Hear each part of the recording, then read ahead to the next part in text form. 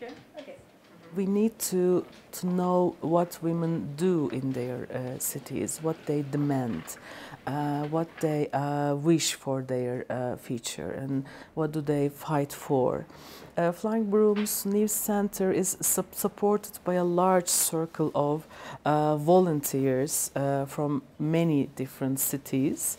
These are mm, the women from different ages and different points of views and different lives and different um, experiences maybe uh, so um, they are gathering in this network they create news and reporters from uh, from their local uh, agenda well, in this map, uh, the black points are where our local women reporters come from collecting news are very, very different. It, it differs from region to region. For example, um, in the eastern part of Turkey, uh, we, we get um, mostly um, news of um, ear- early marriages or uh, honor killings or, or domestic violence, but it doesn't mean uh, that uh, women do not face uh, these kinds of problems in the west of Turkey.